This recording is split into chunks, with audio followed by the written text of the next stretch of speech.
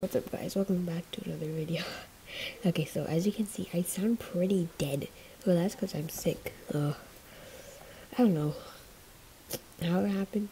My nose just started to itch one day, and then the next day I drank cold water because I ate hot potatoes, and then uh, my throat started to hurt. My, my throat's okay now, but my ears, I know my ear, my nose is still kind of itchy, and my thighs are so, yeah. I'm, I'm still gonna be posting. It's okay. So yeah, it's